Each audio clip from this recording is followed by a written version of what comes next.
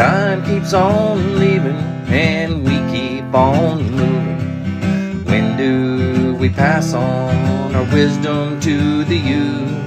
My veteran story, lost arts discussions, fireside chats with a bourbon or two. It's time to hear the stories by military veterans. Get yourself ready. It's the Lost Arts Podcast. The Lost Arts with Andrew Cox. Hello, hello, my friends, and welcome back to the Lost Art Podcast. That podcast has given a voice to our veterans. On today's episode, we're doing a fireside chat. We got our regular podcast crew here, uh, maybe minus one or two, but we got a regular podcast crew. We're going to have a discussion. Um, I don't know. We're going to call it aftermath. We'll just say say that.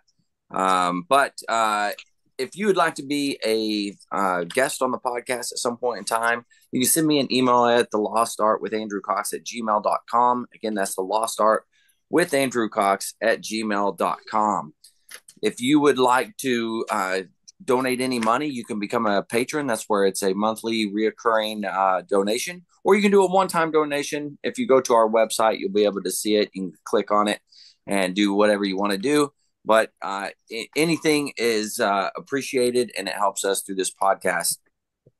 And then uh, the podcast itself is uh, the lost art dot podbean.com the lost art dot podbean.com that's going to take you there. There's also cool merchandise.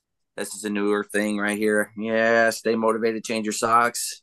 I gotta gotta put that in there. Anyways you can get cups you can get mugs you can get shirts you can get all kinds of crazy shenanigans stuff. But with that being said, uh, my podcast crew, how are we doing today? Not too bad. Not too bad. Uh, just a little nine hour trip, you know, a little nine hour drive. yeah, no big deal. Yeah, no big deal. You know, we stopped at Buc-ee's. Mm. Okay. I stopped. I stopped at a couple of Buc-ee's. 13 hours. There's actually there's three of them in between here and there, but Wow. Yeah. Uh, what about you, Krista? How are you? I'm good. We're good. Yeah. I didn't stop at any Buc-ee's. I didn't either. We're buck buckyless. I've never been to one. I heard they're really cool. Well, they got one. Like right there's a wall of jerky, right? Is that true? Yes. I like jerky. Wall of jerky. They make their own fudge. They have brisket sandwiches and all mm-hmm. kinds of good stuff. Huh. I did have some goose jerky last weekend, though. Did you say what? Goose jerky, yes. Okay, make sure I heard that right. Yes, goose jerky. My neighbor, huh? Good? It's good. It's good. And some deer jerky, yeah. So, yeah. I've had deer jerky. I've had shark jerky too. Hmm. I don't know. I don't know if I can handle that. that might be a bit much. Art. Yeah, do some. Makes All sense. right. Is this something so, about dried out fish, huh?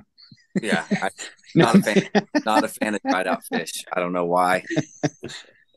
I like my fish done, but not that done. You know what I'm saying? Right. Right. Um, yeah. So, uh, it, it, the reason we're calling this aftermath, right? This aftermath because we had a retirement ceremony for uh, me which was pretty freaking cool. Uh, if you look right there, that that cool thing is what the Marine Detachment. I can't use my finger properly, but that's the, what the Marine Detachment got me. It's pretty cool. Uh, so if if anybody on here from the Marine Detachment is listening, thank you. I appreciate it. It's a really really cool gift. Uh, and I can't believe you guys spent that kind of cash on it. But if if I owe you, then I'll pay you back. But whatever. Um, anyway, so what was it? Thursday night we got together, uh, which was technically my 25 year mark in the Marine Corps, and oh, wow. uh, a couple of us went out went out to drink that night, uh, and one one person in particular probably drank way too much, and uh, let's just say that individual had a rough morning the next morning. so So then well, only one of us was drinking shots. I can tell you that. That is drinking shots. I can tell you that. It is a true statement. Not, Not necessarily by choice. What's that, Victor? That means not it. not it. Okay. Not it. no, definitely not it. I was driving, so I was down here, so it wasn't me. it was. It was me. It was me. Um, so, uh, what was really cool, and I didn't even say this at my ceremony because I am a turd bucket like at school whenever I I did it, but uh, Villa Ramon Villa played on Thursday night. He did uh, Pancho Villa playing or whatever, and uh, did did a fantastic job, and uh, it was a blast. I had a good time. But at the ceremony, I went around and I said, "Hey, if I served with you, you know, whatever, stand up." Da da da da. Yeah, guess where I started? I started at the School of Music, which okay, you would think that makes sense. No, no, I should have started at boot camp because he was one of my drill instructors in the company, yep. and he, he did was? serve there. Oh. Yeah, yeah. Yeah. yeah. Ramon Villa, he was uh, staff sergeant at the time. Uh, anyways, so Ramon, I'm sorry. Please forgive me. Yeah, all that good stuff. Uh, so yeah, so let's see. Friday, uh, we had the ceremony, uh, which I thought went swimmingly. It was a lot of fun. I I don't know. We do watched it. I watched it. We were actually eat. I don't know if we were eating late lunch or something, and we watched it. And Ron's like, "Rez, that your?" He calls y'all my boyfriends. He goes, "That your little boyfriends?" I was like, "Yeah, we're." Listen, we don't have anything else to do because we'd gone to the funeral. We Mhm. went to Gary Yeah. Peterson's funeral, so we were back, and um, it was raining all day. So go ahead. I'm sorry. Oh no, that's fine. No, I was gonna say, what did you guys think about the retirement? Was it? Uh, I thought it was great. I enjoyed it because was there someone else with you? Yeah, there was another person retiring as well. no, it was just me. Yeah, Just- no, just- Okay, I think it was just another guy that they were handing out that was handing out stuff. Okay. yeah, yeah, yeah. Yeah, one They- person retiring is enough. Uh, for- yeah. yeah, they're too long. Um, Although but uh, when I was at uh, when I was at Quantico, we used to do uh, joint retirements. Uh, at like at like uh, morning colors, we do a quarterly morning colors, and whoever was a part of the headquarters battalion, if you wanted to retire, that was your retirement ceremony. So every every quarter there was at least one person retiring, and we had as many as six once. Right. And they all brutal. they- Oh yeah, Wow. they, they all got like five minutes to talk. Oh wow. Yeah. But the officers didn't speak for them, you know, so it wasn't like the officers, you know, giving a speech for them and then they get Mhm. to talk. It was just the retirees talking. Uh, but still, you know, you put that on top of a morning colors plus 30 minutes of speeches. Oh, golly. Was that uh was that just like people that just hey just do a quick retirement ceremony for me and or Yeah. like everybody got that? That was SOP. If you were retiring Oh, and you okay. wanted a you wanted a ceremony and you were in headquarters battalion, your your appointed place of duty was morning colors. That's where you retired from. Wow. I'm, there was a rank requirement or something on that. Um, well, I mean, uh, no, I there was a I, I remember a couple of staff sergeants out there. I, don't- I, I don't know. I don't. Yeah. I, I- I. Well, I mean, yeah. If you retired, retired. You know. So if you made It's, it uh, 20, but Well, I'll, s- I'll say, Andrew, as you were going around the room, um, Yeah. you, you know, we're all kind of uh, of older age and was around 90s, 80s, 90s. Uh, You were having a it, rough it was kind of no, it was kind of it was kind of nostalgic though. Like, Mhm. like you know, as you were going talking about, you know, a few people here and there, it was like, man, you know, the back in the day, it was just it was different. Yeah. Um, definitely. Yeah, Because then you would go and back to First Marine Division. You were like going and Yeah. back, and I was like, okay, I was listening. We were listening. So yeah the uh the being my first duty station 29 palms of course vic he was there with me but uh that crew has always been fairly tight and uh Mhm. they all came out and i mean in full fire how many you say there was there from 29 palms i'd say like at nine least 10. or ten. Yeah, it was Yeah. like something like that. Yeah. There's Wow. quite a few. So uh, uh, yeah, that was really really cool. Uh, but we had a blast doing that, or I did. Uh, but yeah, I thought it was pretty neat. Uh, I looked around, and of course, you know, there's so many people there. I'm like, if I name one, person, then Yeah. my world Yeah. is over. good choice, good move. I was like, how how do I recognize people without recognizing people? Right? yeah, Like it, it was it, it was definitely a good turnout. That's for sure. Yeah. Yeah. Now, It was that your daughter that came up on stage? Did your daughter walk up on stage? Uh, no, it was my wife that came up. Okay. Why? We, you- Well, we that- were in, I mean, the where the video that you were live streaming was in the back back there. Yeah. And then because I was looking, I was like, is that who is that? What is that? I couldn't tell who it was. And then um They're all, All the right. same height, so it doesn't matter. but we just I mean it was, you know, from a distance, the video Yeah. was back. Yeah. So I was trying to picture who that was. And then okay. Yeah. Did you did you catch it this in my speech? And I called David, uh, Chief Warrant Officer Davis, the CEO. I called him my second wife. Yeah, definitely. My second wife. I told Ron that that's kind of cool. I said, were any of your band officers your second wife? Yeah. Good idea. Yeah, he uh he just looked at me like I'm gonna kill you right now. yeah. Good. Second Okay. wife. I thought it was good. Anyways. Uh and then What we about you, Victor? Were any of your band officers your second wife? Uh, no, no, no, no. I, uh, Aaron? I, uh, I mean, I got along with. Uh, I mean, I, I, I did serve with Jack at, at Miramar. Um, and before him, uh, that was Miramar. Yeah, uh, the second time. Uh, before him was Ed Hayes. Um, and I got along very well with both of them. Uh, uh, but all the rest of my band officers, I, Zabo, you can have them. Uh, I, I didn't care for working with him. I have to drop Um, everybody's names here, man. Yeah, and I, I, don't, I don't even care to say it. I don't even care to say it. But uh, and the, but there was a couple others um, that I, I didn't care working for either. You know, Right. uh, but uh, I, I mean, I had a good time. I probably had my favorite time working with uh, with uh, Jack Davis. Uh, but Ed Hayes was a close second. Ed Hayes was a fun. So Yeah. yeah. I didn't mean to So what- interrupt. Sorry, go ahead. Say it again. I just didn't mean to interrupt your story, Andrew. Oh no, you're fine. I I'm just sitting here chatting. So uh let's see. Um then we went and had the party that night, which was freaking awesome. Uh the venue uh was superb.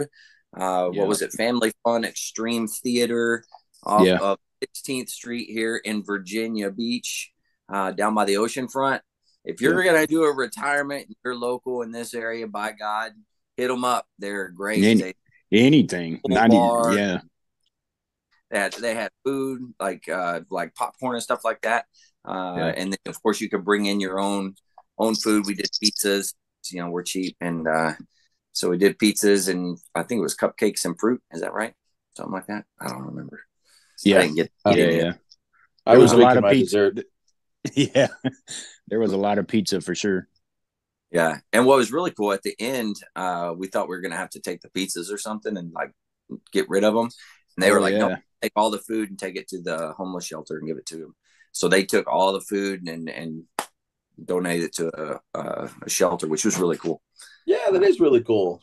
I I mean, I I really like the venue, all the comfy couches and all that kind of stuff. Yeah. I mean, you could tell that it was like like a multi-purpose venue. There was a you can see that there was like a movie screen that they could drop down. Plus, you had the live venue stage there. I mean, definitely a, a great venue for that kind of stuff, man. And then of course the band playing, uh, getting the band back together was really That's awesome. That's right. Got the band back together. It was a good time. Uh, that was the original rock band from 29 Palms when we were there. So uh, 25, well, I guess not quite 25 years ago, huh? Uh, 24 ish years ago. Uh, that was the crew that was playing together, and they came in and uh, put on a heck of a show. It was a lot of fun. Uh, and for that many years apart, they sounded okay. I won't say it's great, but it sounded good. I mean, it was good. It was a lot of fun. What do you Where I think the vocalist was the weakest link, honestly. Ah, no, no name dropping, no name dropping. right. No, I they put on a good show. At least I thought that. Yeah. no, they no, did. they. They really did. They put on a great show. Yeah.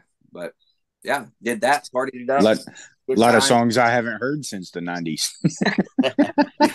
yeah. Hey, stick to what you're good at, right? Stick to what you're yeah, good at. exactly. Exactly. No, I'm just kidding. But definitely some great, great tunes. Yeah. We closed that that place down and then uh we decided to go to uh O- O'Reilly O'Malley's. Mur- Murphy's. Murph Murphy's. Yeah, you were See- close. Ron. You you would think I'd be the one that couldn't remember, but yeah, Yeah, you were pretty. Uh, I was pretty I was pretty toast at the end there. yeah, I remember you walking up to me and you were like, "I'm gonna punch that dude in the face," and I was like, "Oh man."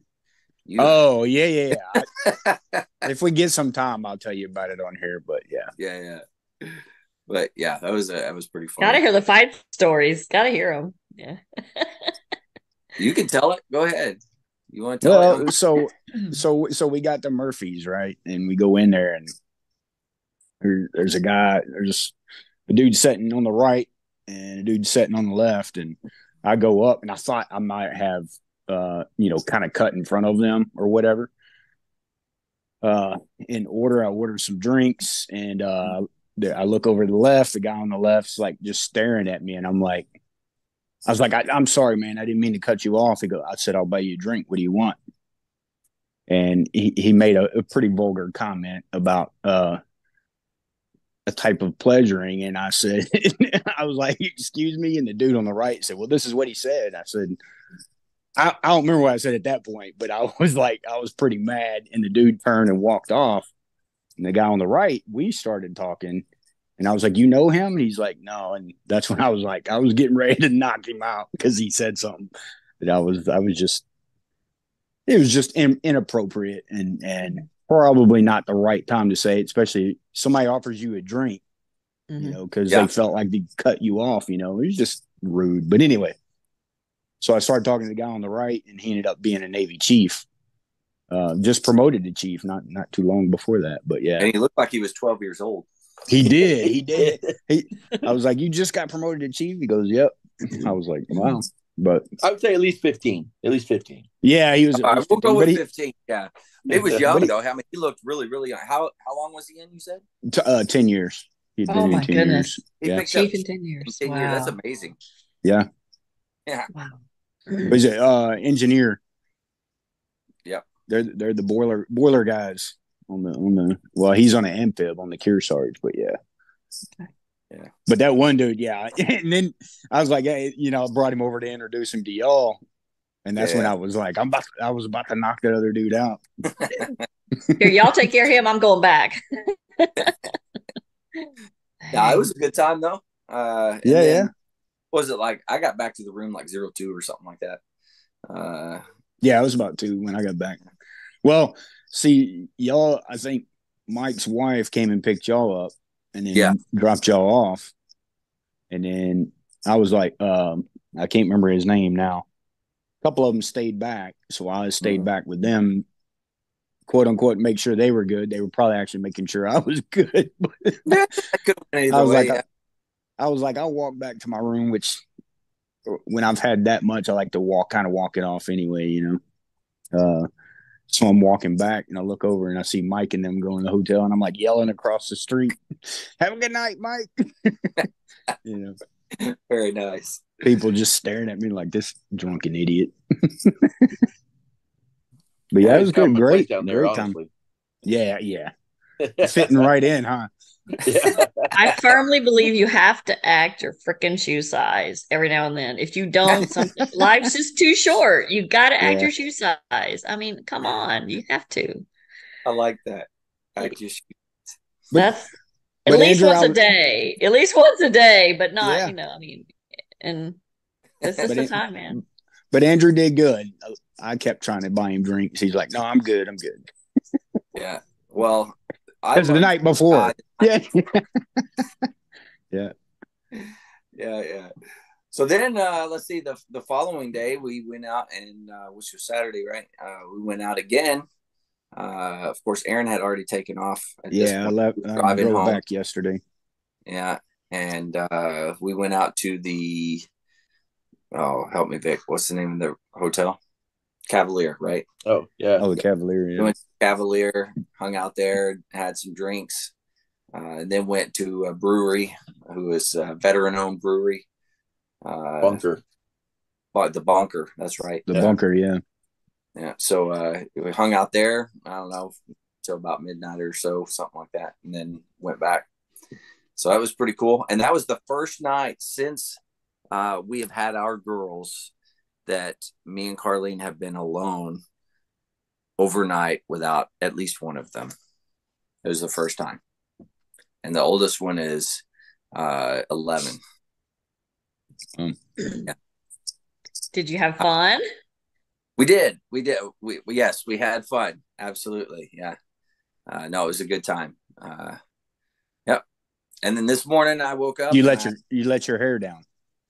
I, I did. Yes. yeah. Not not very much of it, but I let it down. Uh, uh, so this morning I woke up. Uh, Vic, you drove back, right? Yeah. And uh, that was what eight hours.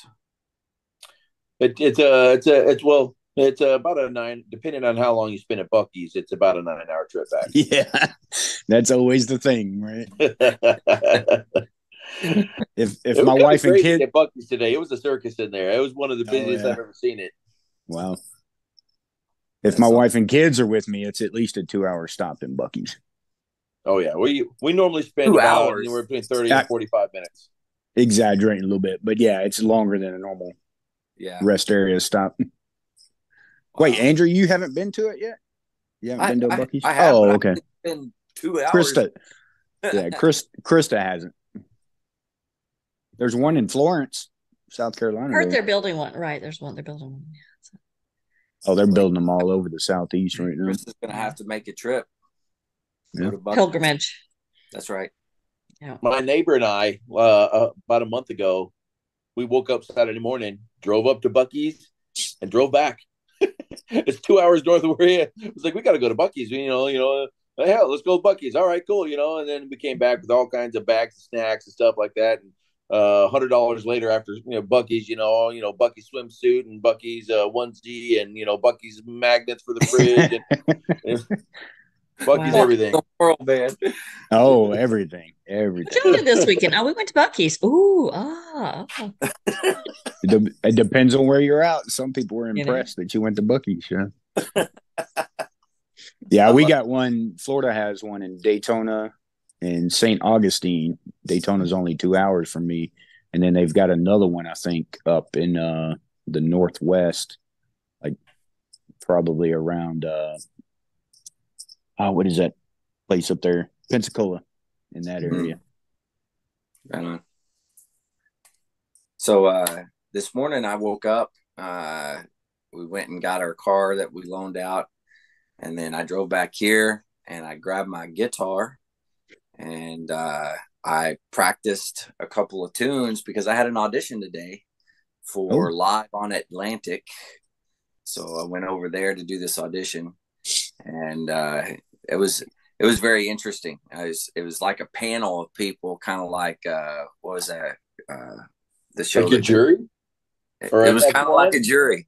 Yeah, like a jury or or, or Promotion board, meritorious Yes. promotion Yeah, board. yeah, yeah. So Yeah. I come in, and they had microphones. They had like four microphones, and the guy's like, "Okay, you can plug up and pick whatever mic you want." And I'm like, "Do do I have to plug up?" And he's like, "No." I said, "Do I have to use the mic?" And he's like, "Well, you're gonna have to if you perform for us." And I was like, "Well, that's fine, but right now, do I have to?" And he's like, "Oh no, you don't have to."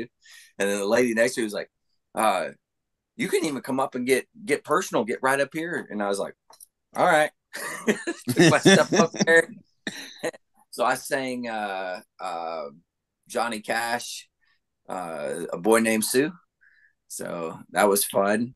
Uh, and then, uh, of course, the whole time I'm kind of cracking jokes and being stupid. But uh, and then I sang Blues Man, uh, the Alan Jackson version of it, uh, Blues Man. It was fun. And then out of it, though, I got a contact for somebody that might uh, be on the podcast. Ooh, So, good. Nice. boom. Yeah, So uh, when do you find out the results of said audition? yeah, I don't know. That- Oh, They'll you didn't call get us, your. we'll call you. You didn't. You didn't. yeah, yeah. they, they said we'll call you. Don't worry about it. Was, You didn't get your golden ticket. No, I I got a zero ticket. They said you can take that hallway and see yourself out. I was like, okay, yeah. I don't know if it was good or bad, but I had fun. So His bootstrings were dragging behind his shoes. Now, what do they do? Uh, you said it's it, what is it? Something on the Atlantic? yeah, so apparently they have a bunch of different acts on the boardwalk. uh, Okay. in that area that set up and play every night, or I don't know. how Yeah, often. yeah. Uh, Okay. but uh, it's like from like seven at night to eleven at night or something like that. Uh, yeah. Right. That little stage area, that little park. uh, well, that's some of them. So some of it just depends. There's like Oh, okay. hey, there's probably four or five at night.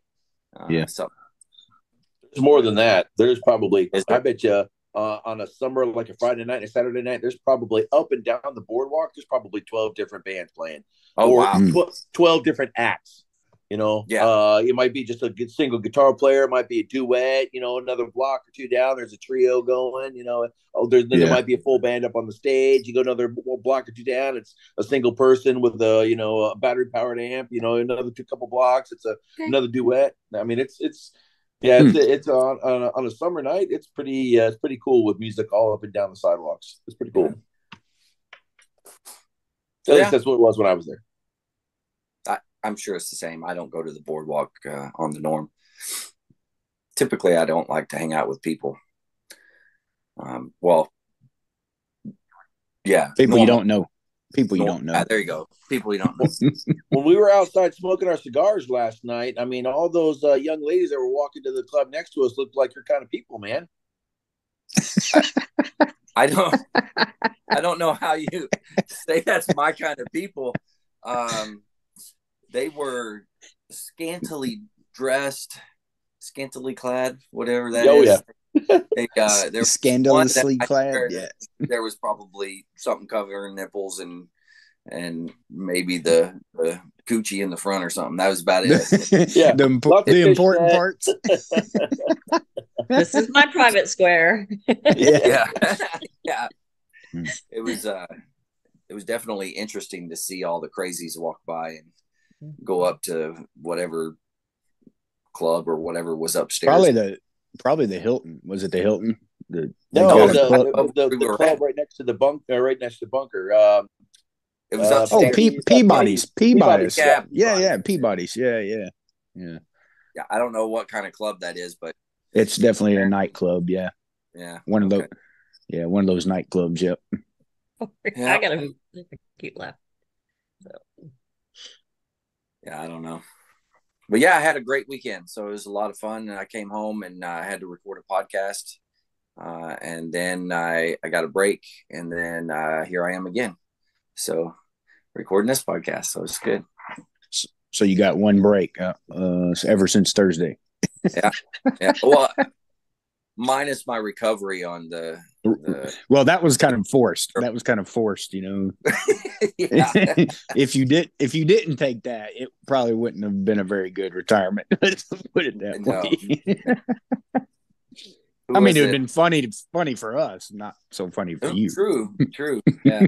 and what was it that uh, when my wife went on stage and he was giving her her certificate and he says, "We're giving your husband back to you, a much bigger man than when he Yeah. came."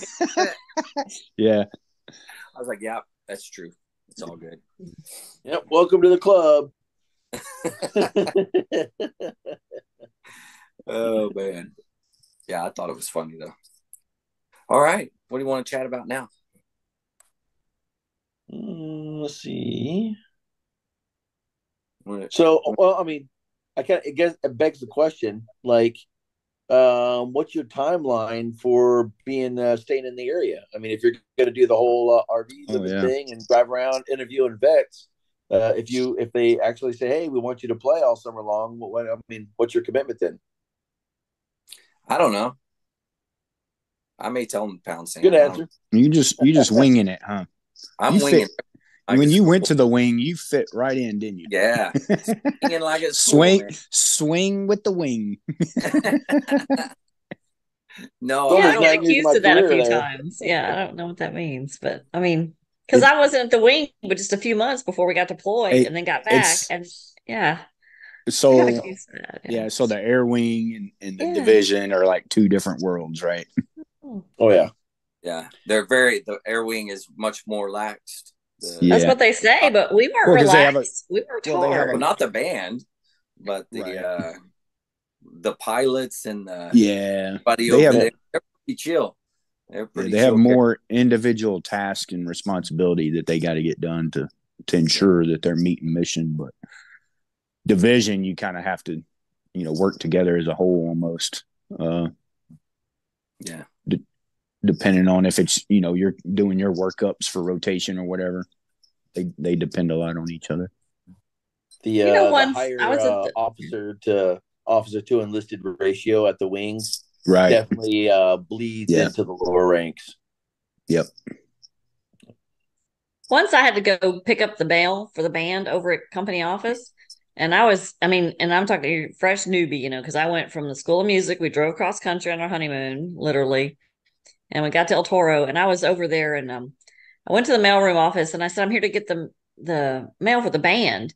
And the guy goes, Band. He goes, What does that stand for? I'm like, Band? You know, like musical instruments? I go, I don't know, ballistic anti nuclear division, the freaking band.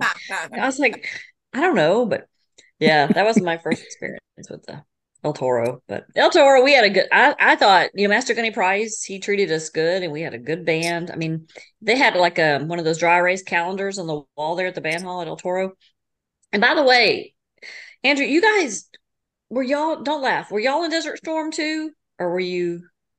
I think you're behind me laughing, a little. no. Okay, maybe Yeah, not more behind you. No, I'm just kidding but when we came back from Saudi Arabia, First Marine Division band had already come back, and y'all were playing for us. So I, I've got a few snapshots because um, that's when we had disposable cameras, like, and you had to like take your film to you know Kmart and get it developed. up, yeah. click, wind it up, click. But Yeah. I know First Marine Division band was already back from the Gulf War, and y'all played for us when we came back because we came back last. I think division because the division had been there the longest, and then um, y'all came back first. But then, but um, no, Master Guns Price had a dry erase calendar on the wall, and it was a three month calendar. And when he set that new calendar up every time, the first thing he would do is go in there and put OC on several days out of the month, and it was occupationally committed.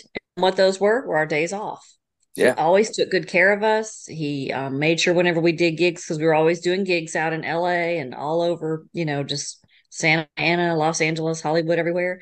And anytime we had a gig, he made sure that we were had good, if we could, had decent transportation. Mostly, um, always got fed, you know, or or that the sponsor was feeding us somewhere. Like back. Okay, laugh. You can laugh now. Golden Corral, or you know, Yeah, or somewhere. But we got, but Yeah, back right. then that was good in the '90s, you know. But we we got fed well. He took good care of us. Master Guns Price took fantastic care of us. But he was the OIC acting OIC at the time, OIC. So he he took good care of us. I mean, treated us well. So My first day arriving at 29 Palms, very fr- like my brand new first day. Here's my first band. Roll up to the gate. Uh, yeah, I show my ID, and he's like, uh, well, what, what are you doing here? And I'm like, I'm, I'm checking into the band. And he goes, We have a band? Yeah, uh, I, I play drums for the band. He goes, Yeah, good luck. I have no idea where you're going. I'm like, "Uh, thanks, man. Appreciate it. that's hilarious. Thanks for nothing. You just drive. What did you drive around look? Uh, well, I actually I called Andrew. I was like, "Hey, man, I'm on base." He's like, "Come to the house." I'm like, "Okay." Oh yeah, those are the good times. oh yeah. What is the band? It's the band. You know, like look, it's the band. It's Pretty Woman, right? Julia Roberts. Look, it's the band. Yeah. kind of kind of keeping with that with that theme, Andrew. What was what uh, did you live in base housing back in the day or Oh yeah. So uh 29 Palms, it was yeah. um like if you you've been there, right? Go on the base, hang a right, Mhm. and right there on immediately on the left, that was the old like non NCO housing, right? Okay. When I got there, I was of course a lance corporal, so they like, okay, that's where we're Right. gonna put you. Well, then they were condemning all of them, right? So apparently I, around that area is where they dumped all of the waste of some nature uh, was there, and uh, so they were condemning them all. Stayed in that house Yeah. all the time there, but yeah. uh, literally up the hill from there was the CG's house, and uh, Mm. so he looked down and see the the peasants at the, The village peasants, yeah. Yeah, yeah. With all the waste. Yeah. with all the with all his waste right there, making sure. Oh yeah. Those houses were stout though. They weren't even like cinder Oh, yeah. block. They were solid concrete walls. Well, I'm Mhm. telling yeah, some of this newer newer housing. Do you live? Yours is fairly newer at Fort Story, right? Yeah, they're eh, yes, kind of. Nah, two thousands at least. Yeah. yeah, but like the new, new, like I got a brand new house, yeah, at Lejeune in Tarawa Terrace. Like literally, they just came and dropped the keys and said these houses are ready. Gate got one of the first keys, and, and it wasn't like it was just the quality was just, and that was two thousand seven. So Yeah. but Yeah, I would I would say overall, when you look at the housing, I learned a lot about the housing here uh, specifically. So in each area, uh, a different company runs the housing uh, housing thing. So on Fort Story, it's ran by the Army. Uh, so Okay. they have a company that they've hired to run the housing for the Army, and Right. then the Navy uh, side, they have their their housing uh, Mhm. people, whoever's it was. So I had a Marine come in and and they like they wouldn't fix his AC and he had like kids and it was stupid hot and all kinds of stuff. So he went out in town and and had to get a hotel and stuff like that because he's like, I don't want to leave my kid in the in the hot, right? And they weren't Mhm. coming out to fix it. Uh, so uh, he was like, "Can I get reimbursed for that?" And I'm like, "Well, we can we can sure try." So he went in and talked to him, and they basically kicked him out. Said, "No, we're not talking about this." Uh, so then I called over on behalf of him, and they wouldn't talk to me. I was like, "Okay, well, I'll, we'll just drive over there." And I drove over, and uh, I I was literally purposely crossed my arms and leaned back against the wall, and I was talking to the lady, and I didn't raise my voice. I didn't do anything and then she uh she said that I yelled at her and and all kinds of stuff, called her names and stuff. And I'm like, oh yeah, it was it was ridiculous. And at that point, I had to go. I, or I didn't have to. I went to see the base uh, command master chief, and I went in and I was talking to him about it. And he's like, "I'm telling you now, the housing is is crap. Yeah. The how the contract that the they signed was for 50 years. That's 5 Mhm. Mhm. Fifty, which means you they can do whatever the heck they want.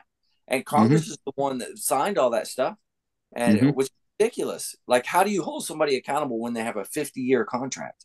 You know, it's Right. pretty difficult to do that. Uh, Yeah. So that's why the housing here, at least, is as bad as it is. Yeah, but They the don't first housing I lived in was at Bolling Air Force Base. That was my first duty station. Was eight oh to nine. But but I, but yeah, I lived well. I lived out in town in an apartment first. I had to get on a list there. I mean, you can imagine there's only a certain amount of base housing in the national capital region, right? Mhm. Um, but anyway, I, it it was definitely older, but I felt that that housing was probably better than the housing at Lejeune. And I mean, you go back, that was 2000, 2001. so Probably was, man. yeah, but uh, you know, to your point about you know the, these companies, like I think it's Lincoln Military Housing at, at Camp Pendleton. Lincoln. Something else that that Lincoln's Yeah. contract was uh, up, so somebody else got the contract. Yeah, but I remember we uh, Liberty, Liberty got it. yeah. When I was at uh, Fitz Marines, we did a staff NCO officer social, Mhm. and and they had a we had a first sergeant in the regiment that lived in base housing.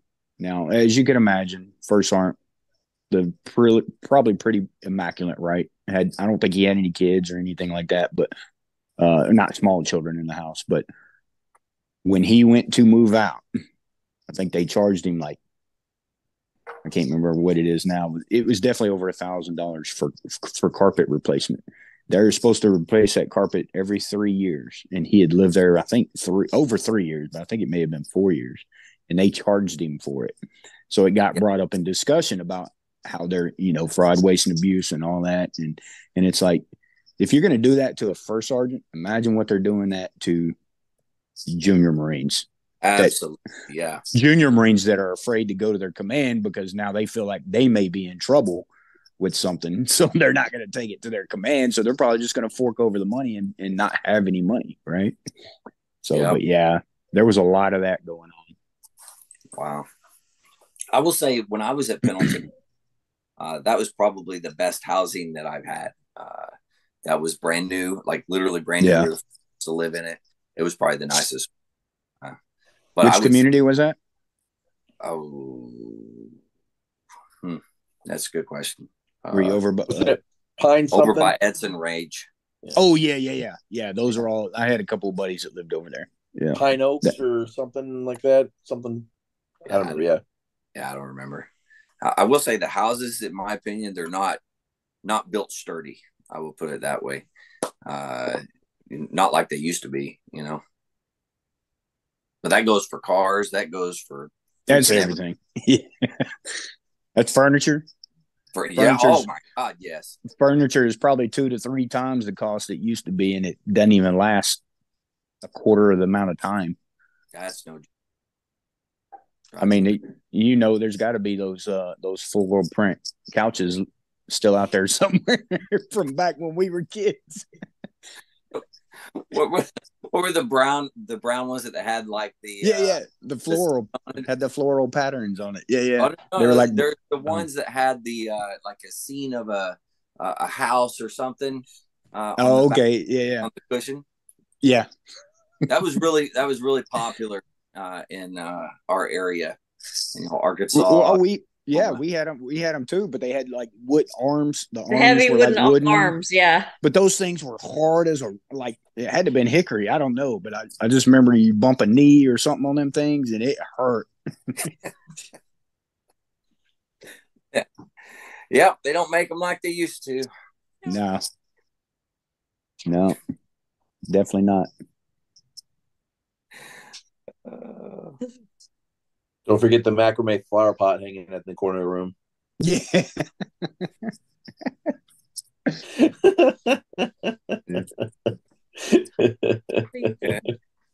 My little glass.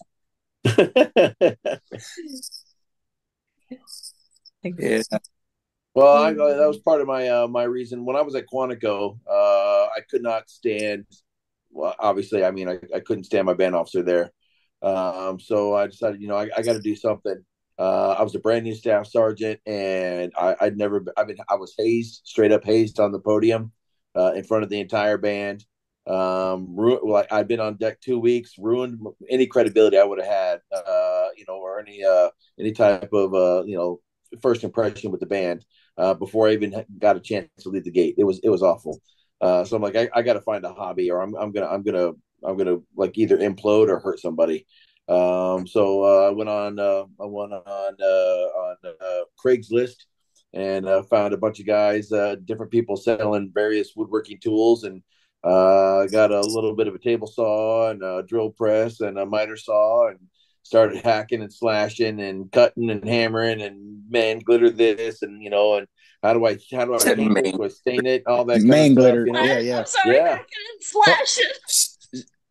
But like, and then and then eventually, I could I actually had something to show for it. You know, it's like how You said- I, you how do said I do man this? Do I glitter, do that? but- you know, but I'm I'm completely self taught. You know, watching you know University YouTube on how to do wood you know woodworking, Yeah. and uh, then uh, uh, I went to an estate sale, and this dude was selling a, an entire. It was like it's like a 22 book set on woodworking, hardback books. Uh, so I bought all those for like 50 bucks total, you know, Oh, and then gosh. like started reading all that and they're like, oh, so this is how you adjust your table saw. Oh, this is how you're supposed to use the router the right way. Oh man. So like uh I mean I'm completely self-taught and uh I've made various things throughout the house, made my uh, my wife a raised Hey, look- panel blanket chest. look right here. Still got them all. Yeah. Still got them all. that can't- I was going to say the important thing Got is all the still have all digits, your fingers. Yeah. yeah. Got Oh, all yeah. You, made that you made that? Yeah, he made the cover block right here, and it's the screen's gonna come out right there. That's the cover block. He made that for me when I was a drill instructor. Yeah. Yeah, I was pretty proud of that design too. It's all held together with magnets and stuff. There's no hinges in it. Yeah, Um, Nice. but uh, yeah, so I mean, uh, that that was that was my stress relief. Uh, so I, I was Nice. I was happy to do that. But like you, you were saying that you know they don't make them like that anymore. You know, furniture, uh, the the lost art, right? You know, uh, when when, when when shit goes south, uh, people need to know how to how to how to do things with their hands. Uh, Yeah. you, you need to be able to produce something. You know, Make uh, it from whether- scratch and know how it's made properly, you know. Yes, you know, you need to be able to know how to produce something, uh, Mhm. and not rely on other people's talent for your living. We don't need Norm. We have Victor, and I'm. I can make this old house from three biscuits and some wood glue. that's our joke around here. Man. Oh, and Norm Abram. That, that's he's. Yep, that's my, what I said. This uh, is Norm. I can make this house from three biscuits and some dowels and some wood glue. You know. Yeah, Yep. it's true. It's true though. So yeah, because that's what Ron did when he got out of the Marine Corps. When he retired, um, he didn't have a job, but he went and worked for a local guy here who um and, and learned to be he he tuteled tutelaged under a Finnish uh, carpenter. And the Mhm. guy was like a master carpenter, but he didn't really know it. He didn't act well. He was kind of arrogant, but he didn't act arrogant. But he, he taught Ron everything he knew. And Ron liked woodworking because he'd been building some things for me in Hawaii. And he didn't know how to do it really well. In fact, he built me one of those things that goes over, you know, the back of your toilet, you know, that you put like towels in and stuff that would Mhm. sit over your toilet. In fact, the joke was it it had one of the doors had like a line through it where the saw had he put the saw in the wrong door, you know, in the door. so but he filled it in with like, you know, wood glue and stuff. So that was that we had that in our house for many years before we dumped it. But um but he worked under this guy for two years, only making like ten dollars an hour until he got his GS job on base. But he learned how to do, you know, put in door frames and put in framing and put in staircases and, you know, uh, do ladder wells and stairwell. I call ladder wells stairwells, things like that. But uh, it's it's it's nice to know how to do that. And then he would then we do stuff in the garage. I'd say, "What are you making?" Because I'm making a jig, and I'm like, "Well, what are you making a jig for? Just build something." And he goes, "No, no, no. You have to have a jig to." You know, make this in order to make all the other stuff, and be like, okay, fine, you know. But once I learned to just leave him alone and let him do his thing, and just just go back inside and make the custard and let him do the flying and that's from the right stuff. Have y'all ever seen that movie the right stuff? Yeah Yeah. it's like you handle the custard i'll handle the flying. Okay kind of things. Very nice. I used to make, uh, or I still, I can, I can still, uh, but I made uh, like coin displays was like one of my first little side hustles, you know, uh, various coin displays. But like when I my my version of a coin display, I made a bunch of jigs so that I can batch them out quickly and do them repetitively over and over and Right. over. Mhm. Uh, but and whenever somebody asked for a coin display, and I would never make just one, I'd make four or six right or however much wood I had, you know. Uh, but the jigs help out a lot. Uh, and I, you know, sell them for 40, 50, 60 dollars a pop, depending on how big they were, how they wanted, what they wanted them made out of. Uh, there was a little side hustle uh, for a while that I did. Yeah Very nice. Yeah, we just got a piece. I know this is, I'll make it quick, but we just got a piece. It's actually a joke. It's called Jokers. It's a Joker game. It's like a peg. It's kind of like Trouble, but with with cards as well. Um, but it's a peg and Joker game, and um, and it's wooden peg game that we play because we go to a friend's house and play cards a lot, and and um, we're board game people. But the pegs that are going to go in it actually come from like a cribbage game, I think. So um, I was just fixing to say cribbage. it's it, it's not Yeah. cribbage, but it's it's it's like the old remember the game Trouble that you pop, you have to Yeah. come out of home and Yeah. go around, but it's like that, but it's on a wooden peg game, and like up to eight people can play. But we played this with our friends. When we go over to their house uh, on the weekends a lot. Um, but it's it's a peg, and and and their parents made it. We couldn't find it online. Ron finally found one, and I think it's a handmade pe- wooden peg game that somebody made, and they're selling them for like one hundred fifty dollars, handmade, hand painted. So we're gonna make one and try to do it because we want to have one for ourselves too. But I, I know a guy Nice one. makes uh, cribbage boards. really? Oh, do you make them, Victor? Yeah. Oh, you I do. play Oh, cribbage. okay. I play cribbage and I make my own boards. Yeah. Oh. I don't know how to play cribbage, but I've heard of it. So, but the pegs were It's cribbage card game. pegs. It's a card game. Oh, really? Yeah. A lot of Hmm. people think that uh, cr- the game of cribbage uh, involves the board. The board is just a scorekeeper. It's just a score pad. Oh, Uh. Cribbage is actually a card game. You just keep score on the board. We might have to talk afterwards about our Joker thing because you might have. I don't know if you've heard of Joker. I haven't. Joker peg game, but yeah. So, fun Hmm. stuff. But yeah, Make Joker boards too, I guess. Maybe we'll see. Joker board. I I will introduce you to it. Yes, you might like that. Yeah, and see what you think. Yeah. Challenge accepted. Get challenge accepted. I go, oh yeah, I got my got my cup in the mail. Oh, look at that. Here's my- Oh. Notice how the rest of the three of us aren't drinking. well, I just started. I got a late start because I took a nap. I took a I'm nap letting and I my, had a I'm late let my, my liver unpickle. yeah, it's still Coffee. it's still it's still cycling through. Yeah. Okay. Still No. trying to recover here. Yeah. Hey, Um, sad note. Let me get her name. Um, it was a girl you might have known. Um, hold on. I'm gonna. hmm, I don't know if I can do this. Um, she passed away. She was at the Marine Division from 2009 to 2012. She was a what did she play? What did she play? Mm, I don't know what she played. She passed away. She was 33. She had cancer. Um, Which let's see if I can. First Marine Division. She was only there for a few years. Oh, what was her name? I can't look it up without. I'm afraid I'll lose you guys on the Zoom. Uh, it should stay on the background. If anything, we lose the the. We might might lose your picture, but we should be able to do it. Let me pull this up real quick here.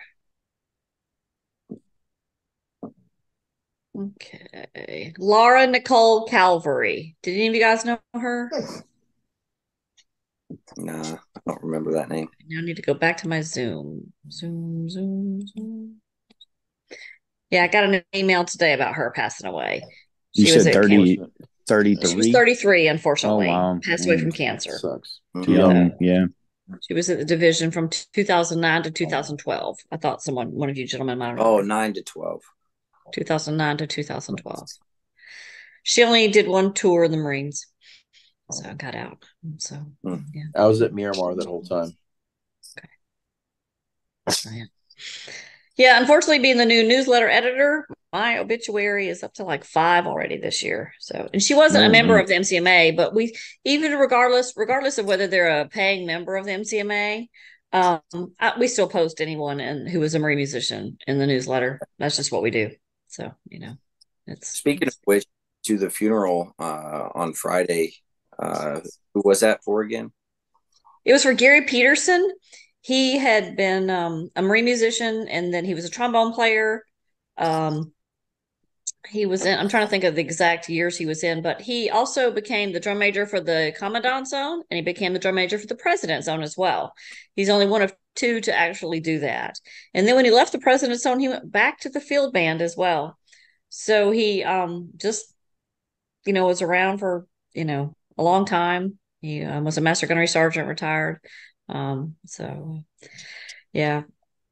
I, I did not serve with him personally. Um, there were only four Marine musicians there. Myself and Ron was there. Christian Flores was there, and a guy named Chris Cushman. I don't know. He only served for four years, I know that. but um, um, he's a local um, police officer here in Beaufort. He knew Gary because Gary ended up here. You know, Gary was originally from Salt Lake City, Utah.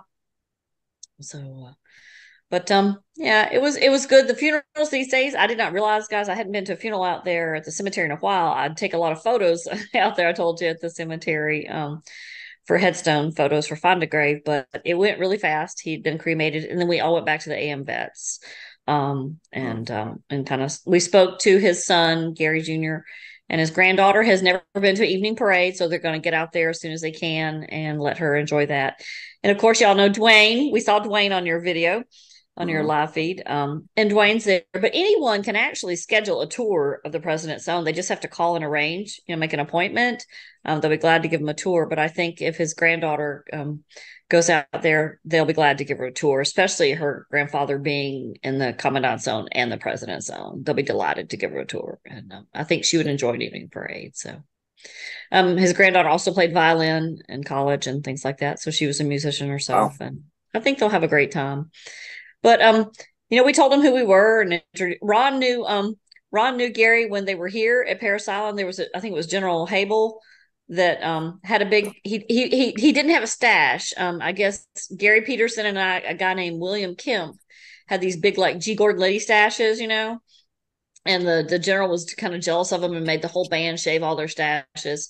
Um, he didn't like it or something. But Talking uh, about the curly Q. They did no, they that? didn't have the curly Q. Just um, just I mean, a really heavy, thick, thick stash. Oh, you know, okay. just, just mega mustache. Um, but I, you know, this was back in 83, 1983. So, uh, so, but um, it, I mean, so everyone talked. Christian, Christian, and when Christian met him, um, he was Gary was Christian's um first drum major. So he kind of looked up to him and, and, and admired him a lot. So he got up and spoke a little bit.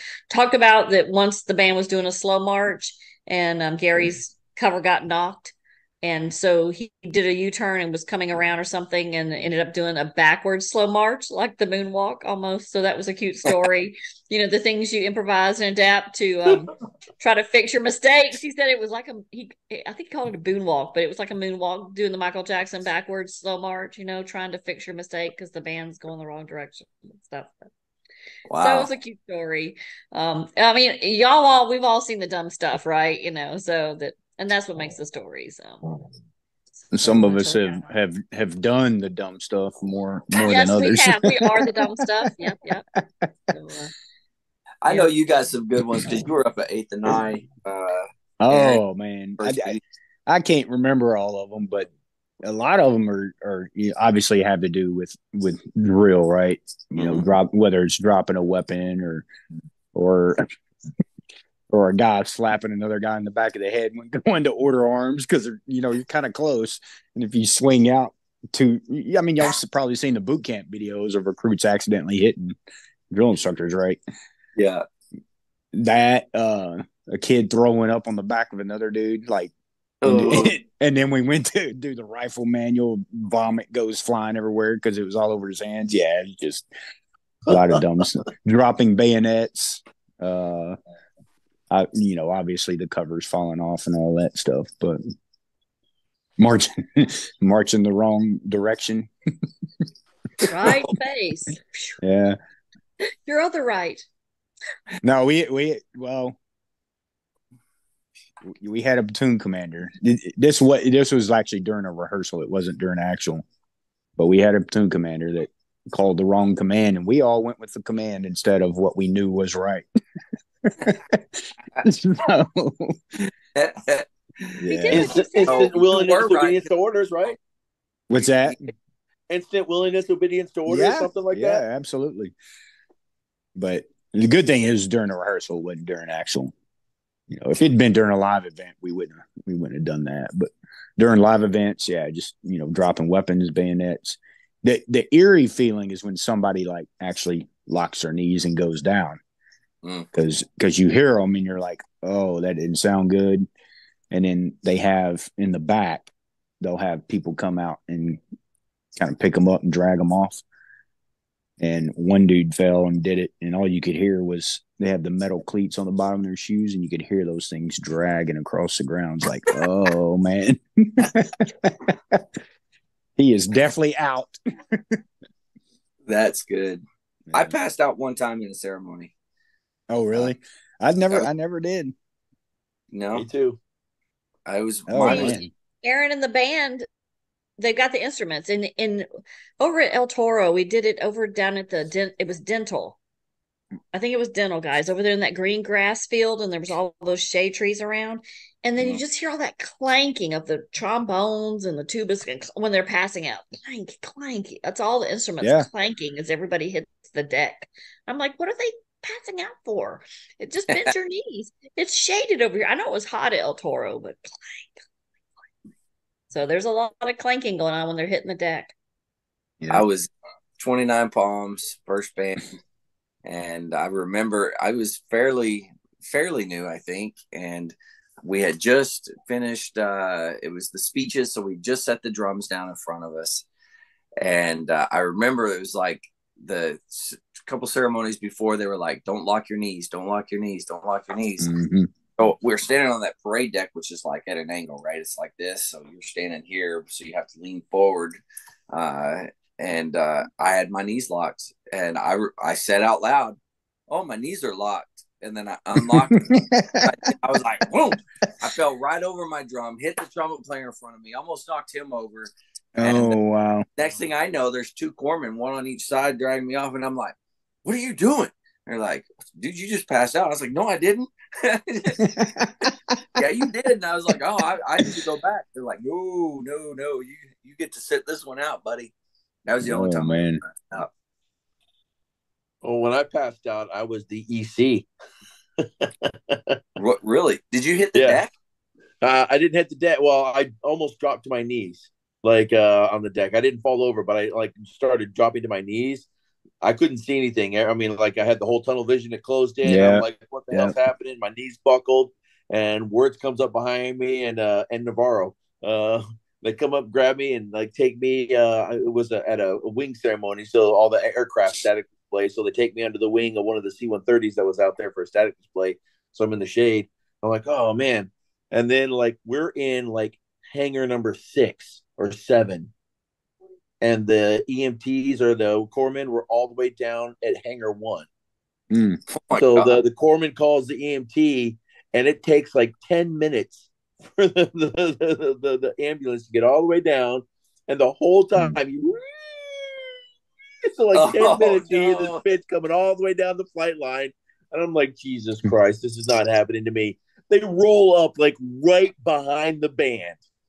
You know, Mm. like lights going, horns going, whole nine yards, ceremony's still going. The, the the bitch is still talking about how, how cool he is and how important he is. And I'm like, you gotta be done, you know. And then and then the guy's like, hey man, hey, we're just gonna check you out real quick. You know, we know we got some corpsmen around here somewhere. We're just gonna check you out real quick. So ha- have a seat, you know, on my, my gurney in here. And I'm like, okay. So as soon as I go into the and sit down, motherfucker gets in the doorway and he puts his he puts his hands up like this. He goes, All right, I got some good news. I got some bad news for you. And I'm like, Bad news, what? He goes, Now that you're in my ambulance, I have to take you to the hospital. And he was Oh my god! And I'm like, What? No fucking way. He goes, Dude, dude, don't make this hard on either one of us. And I'm like, I'm about to plow through your ass. You got to be kidding me. I'm not going. He goes, Come on, man. This is a, this is CG's policy. I have to take you to the hospital.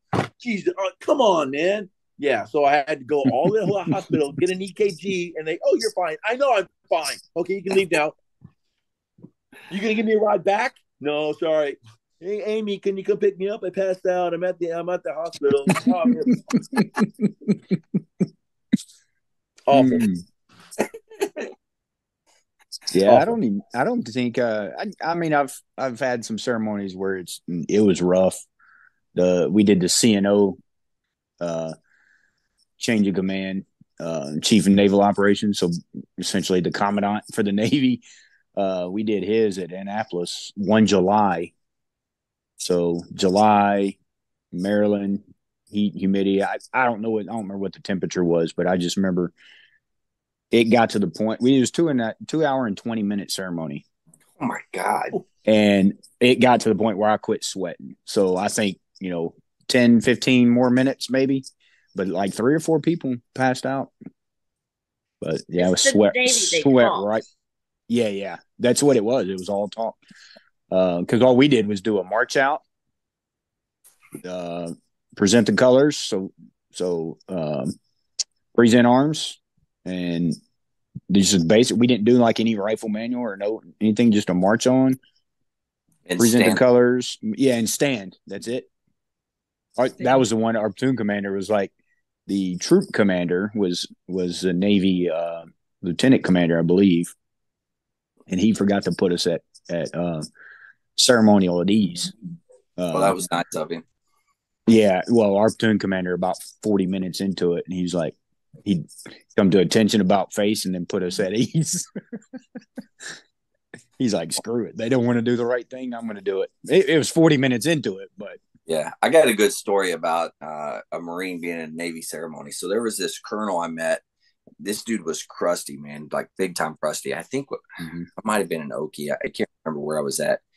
Uh, but he was like, okay, uh, so here I was, right? I was the commander of troops, and we're at the Naval Academy, and I'm the Mhm. I'm the Marine, right? Uh, in charge or the commander of troops, and then we're doing a ceremony, and in the middle of the ceremony, you know, they're talking and talking and talking, and he's like, I everything just started going like this, and he thought to himself, he's like, I am a Marine in a Navy ceremony, and I'm the head guy, and I'm about to pass out. He said, I can pass out and be made fun of the rest of my career, or I can say, no, I ain't passing out, and I could call everyone to attention and say, pass and review. That was his options. And he was like, Well, I ain't passing out. So he comes to attention, turns around, calls everyone to attention, says, Pass and review. Boop, everybody's doing their thing. The guy's still up there talking. And, uh, he gives forward march and boop, off they go. Guy's still talking. And then it, they they make the turn like they're coming in, and finally, the guy's like, "Well, I guess I got to put this down. I'll come back in a minute." They're doing the pass and review, so they finish the pass and review and get all the way down. Uh, so after the ceremony, uh, the uh, uh, who was it? Oh, the general. The general was like looking for the uh, the guy, and uh, comes up to him and starts yelling at him, and he's like, "Wa la la la la," and uh, the sergeant major came up. He said it was the sergeant major who saved him. Uh, came up and was like, "I can't believe that they would talk this long and do this and do that," and is talking about the uh, uh, the ceremony, like like the person talking or whatever. And uh, he said if it wasn't for him, his career would have been over. Oh yeah. Well, I mean, you know, it's dangerous. I mean, as as both of y'all have experienced it, you know, you easily could have hit your head off the ground. Then what, you know? Yeah. But we did. We never had Yuma? anything like that happen. But yeah, Yuma and 29 Palms are hot. And I Mhm. mean, we used to go out to Yuma to do change of commands, and um, Master Guns Price would tell everybody easy, easy, you know, easy. And I'm not kidding. Some of the tall guys, the big guys, those we would come back and be on the C-130s flying back, and um, their core frames had melted, had like melted to that Mhm. flight line out there. I mean, Mhm. somebody like you, Vic, who's so tall. Y'all know what my husband said when he met Vic last night? He shook his hand, he or last week, he shook his hand, he met him, and then he stepped back, he goes, he goes, God damn, you're a tall son of a bitch. you're a big son of a bitch. Oddly enough, I mean, my first duty station was 29 Palms. I came close once to passing out. I Mhm. never passed out 29 Palms. And then I spent nine years of my career at Miramar flying to Yuma and back to do gigs. Right. And the Mhm. last, my last time there, we never drove out. We flew out the morning of, did the gig, and flew back. on C-130s. And, and like, so no time to acclimatize. You just, Right. it's just like shock and to your system. hot. And the never passed out at. Yuma, never this. passed out at 29 Palms. I passed out on a flight line in San Diego where it's fucking sunny and 70. Of course. Yeah, so it doesn't matter, but it just it's the heat and the humidity. And I mean, Yeah. like you said, we flew those C 130s all up and down the coast. And you know what we do? We take our little web belts off and we fl- put them around our foreheads and we put them inside the red webbing on the C 130 Mhm. seats and we sleep like that. You know, sitting up. we do some stupid ass shit. Especially in Okinawa, flying from Okinawa up to Iwakuni. Yeah, that's what we do a lot because we have to sleep standing up. Oh man, I don't know Jack Allen if he's still alive. Uh, Anybody remember Jack Allen from the school? Big Mm, guy. I don't know that name. Jack Allen, Quakenbush, and Farquhar, and all them. Scotty Johnson. That's how we'd all sleep sitting there with those whip belts around our forehead on the C-130s. But yeah, but no. To y'all's defense, it's just hot, and guys just have it harder. Probably because y'all drink more. I don't know. You're dehydrated more. but um, Yeah, Yeah. it could be that. it- that had a lot to do with it. Yeah. Mhm. Maybe You know guys I just don't was, like- drink as much water. The They always- worst condition was like the the new um like astroturf fields that have those rubber pellets. Mhm. Oh God, yeah. Though I mean that was like sitting on like a like a heater because those rubber pellets would have just absorb heat, you Yeah. know, and like you're just standing there and you could feel the radiant heat coming off those rubber pellets. Man, and my feet would get so fucking hot. I'm like, God, we when, when my uh, my last time at uh, Miramar, they were trying to turn our parade deck, which is next to the band hall. They were trying to turn that into one of those astroturf fields. Oh. And I'm like, no, don't do it. Don't do it. And I went to the chief of staff and I'm like, worst decision ever. Don't do it. They're horrible. And Becker's like, yeah, no, it's a good idea. No, it is not.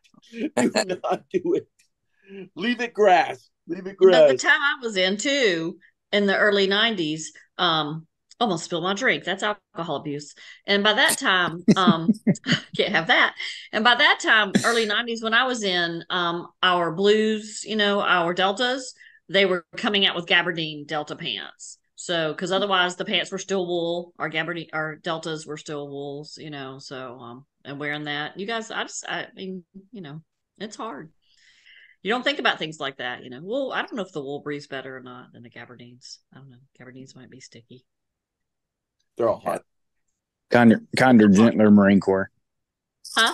I said kinder, gentler Marine Corps. Shut the fuck up. And anytime somebody said, but it's a dry heat, Yeah, yeah, F you. yeah, yeah, I don't yeah. care. 120 degrees is still hot. yeah, Heat Yeah. is heat. That's all, that's all there is to it. Heat is yeah. Heat is heat. Yeah. you know, Mm. and flying from Okinawa to Iwakuni, I used to, you know, I was a lance corporal, so I was on the loading detail. I used to go in there. We because I was married, so that if they had room in Okinawa, you could um bill it with your spouse up there. And there was a few married spouses. Um, I think once Harrington and Bartholomew got married, and then there was Tracy and Vernon Harris, and then myself and Ron. We could bill it in the you know the married billets up there, and everyone else was in the barracks. We go up there, and I I literally had to peel my camis off of me because you know the C one thirties. This might be a little too much, but here you can you can edit this if you need to, AJ. But I'd get in there and we would run over because they had the new PX up at Iwakuni. I remember when they built the new PX. Okay, so this is what ninety two maybe. So I'd get in there, and my girlfriend Tracy, she's black, okay. And we get up there, and her and Blaybaum would be in the PX, and um, Barth or Harrington would be in there. She married, you know, Ben Bartholomew eventually, but they'd get in there, and I would peel my camis off, soaking wet, you know, and I'd be like, "Guys, I'm here! Finally, I made it." We'd go shopping the PX and girl stuff because they had great girl stuff up there in the PX. And then she'd go, "Yeah, I, I I know, Krista." She goes, "You do have a big butt getting those camis off." She goes, "It's like God went poof, butt on a white girl." I said, "What do you in the shower?" You know, because it just it's a girl thing. Sorry, guys, but you have to understand Tracy Harris. She's she's pretty cool. We're still friends. She lives down here in Hinesville at Fort Stewart. But um, anyway, she's a teacher. Yeah, guys don't do that in the locker room. Yeah. They don't. Dang, Andrew, you got a big butt on you. but it was just the whole cami thing and the whole C one thirty thing, stuff like that. So I think you might have liked I- that Peabody Club.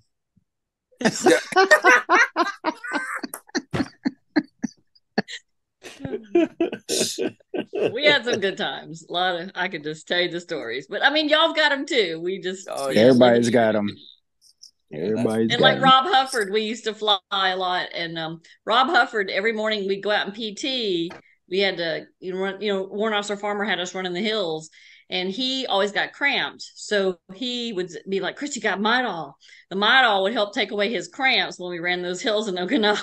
we would be like popping the Midol, Right. so we didn't get He was drinking too much if he was cramping No. up. probably. But yeah, the things we did. Good, good. I got I got one last pass out story. Oh, Please do. So, oh, I'm uh, sorry. I was uh I was conducting a, uh one MEF change of command, right? Oh, Mhm. not no, I'm sorry, not uh, not. I relief and appointment. One MEF relief and appointment. Um, Sergeant Major starts talking, and he starts like naming each battalion sergeant major and talking about them as he's going down the the, the Mm. MEF formation, right? So we're on Paige Field at, at Pendleton, right?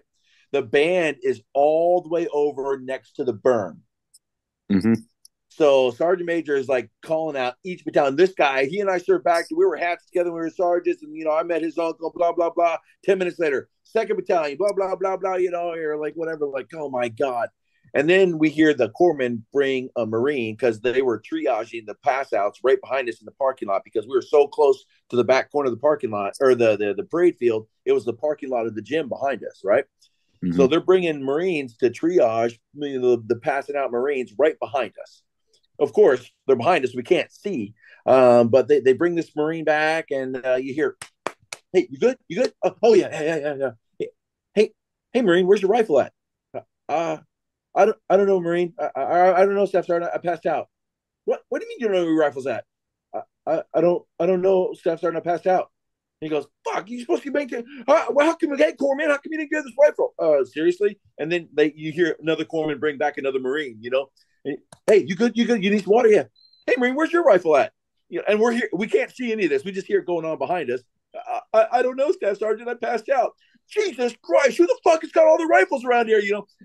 For half an hour, this went on. Where's your fucking rifle at? I guess you don't have your rifle either. I don't know, Staff Sergeant. I passed out. I mean, it was for oh. half an hour. Jesus Christ, nobody's got fucking rifles around here. I hope we don't go to war because someone's gonna have goddamn rifles. comedy show, right? Like, oh my god! Yeah. And about And you're that just time, hearing you know, everything. So Sergeant Major is like, oh yeah, the headquarters battalion, that Sergeant Major over there, and I'm like, oh, just shut up, dude. Battalion, Mm. all your battalions are falling out. And y'all are trying not to laugh, right? Oh right? no, no, eh, we weren't trying. Eh, Everybody gave up. It was, it was, you was probably more pissed off than anything. I'm standing in front of the band, and all Yeah. I hear behind me is.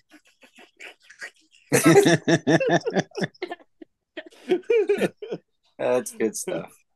Yeah. Comedy show.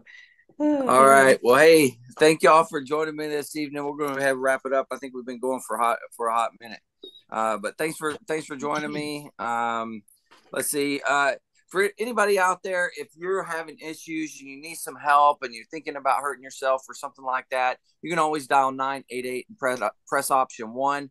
There'll be somebody on there that will help you out and put you in contact with who you need to be in contact with. You can also text at 838 255 uh, again, that's 838 255.